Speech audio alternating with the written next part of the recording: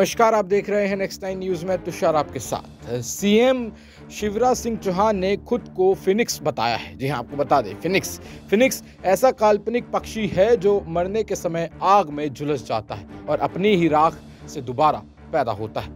आपको बता दें कि मध्य प्रदेश विधानसभा चुनाव के मद्देनज़र सभी पार्टियाँ एक दूसरे पर हमलावर हैं। वहीं प्रदेश के मुख्यमंत्री शिवराज सिंह चौहान ने विपक्षी दल कांग्रेस पर जमकर निशाना साधा। बुधवार 11 अक्टूबर को सीएम शिवराज ने कहा, कांग्रेस मुझसे डरती है, वो मुझे रोज़ गाली देते रहते हैं। वहीं उन्होंने ये दावा भी किया कि कुछ लोगों ने सोशल मीडिया प्लेटफॉर्म एक्स पर पोस्ट किया, मामा तेरा श्राद्ध हो गया।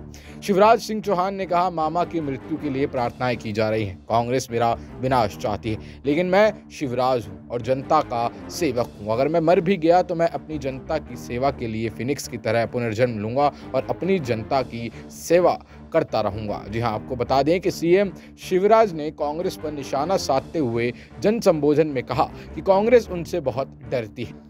राहुल गांधी से लेकर कमलनाथ तक सब उन्हें गाली देते रहते हैं। सीएम ने कहा कि कांग्रेस उनके मरने की दुआएँ कर रही है। कांग्रेस में दिन रात सुबह शाम एक ही नाम लिया जा रहा है, वो है शिवराज सिंह चौहान। उन्होंने सवाल किया कि मामा में, ऐसा क्या है? जो कांग्रेस वाले नींद से उठकर भी उन्हें गाली देते रहते हैं। आपको बता दें कि देश में 2023 के अंत में यहाँ पर विधानसभा चुनाव होने हैं, जिसमें से मध्य प्रदेश में भी यहाँ पर विधानसभा चुनाव होने हैं। और इसको लेकर यहाँ पर सभी पार्टियाँ जो हैं, वो एक दूसरे को साधने के लिए एक के बाद एक जो नए तरीके वो अपनाती हुई नज़र आ रही है। ऐसे ही जहाँ एक तरफ़ राहुल गांधी को लेकर जो पोस्टर जारी किया गया था, रावण के दस सिरों वाला तो उसका जवाब देते हुए यहाँ पर कांग्रेस ने भी शिवराज सिंह को लेकर एक पोस्टर जारी किया था, जिसमें शराद का ज़िक्र किया गया था। और इसके बाद अब ऐसा कहा जा रहा है कि इन दोनों ही पार्टियों के बीच राजनीति में पोस्टर वो जो है, वो शुरू हो चुकी है।